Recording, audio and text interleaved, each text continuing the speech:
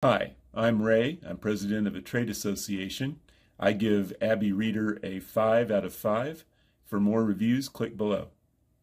I like ABBYY Reader because it's a very quick and easy way to edit PDF documents as well as view them. I use it as my default viewer, but I also use it to edit documents and find it very useful.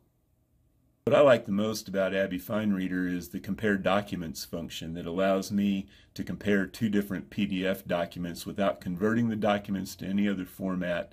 Uh, it highlights the changes for me and allows me to save time that otherwise I would spend trying to compare documents line by line.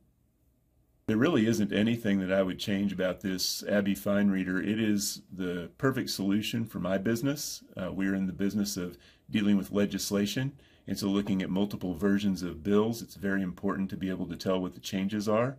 And that's what we find most useful about ABBYY Reader, as well as being able to edit PDF documents on the fly.